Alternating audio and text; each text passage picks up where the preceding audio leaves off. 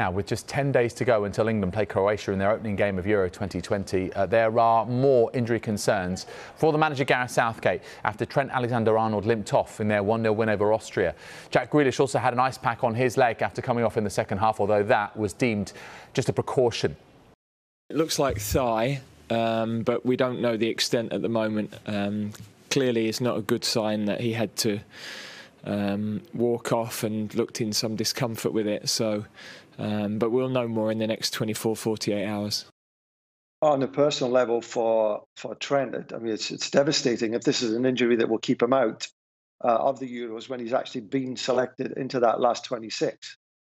Uh, now, if I look at the, the selection of the squad, you know, putting the uh, the injury to Trent aside, I wasn't particularly comfortable with the four right backs. Uh, I just think that was an overload. It might just give an opportunity for somebody else to come into the side that I thought was probably very unlucky to to be left out, and that is uh, Jesse Lingard. I think he he looks the part in an England shirt, and uh, again, I thought he did you know he did well last night.